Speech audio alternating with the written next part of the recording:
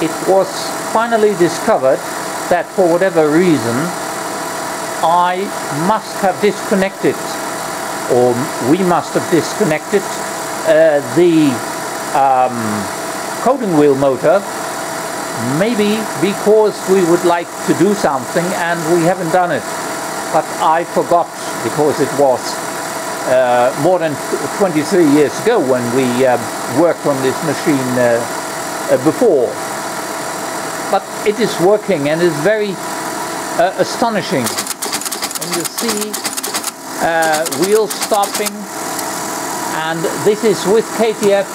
and this is without KTF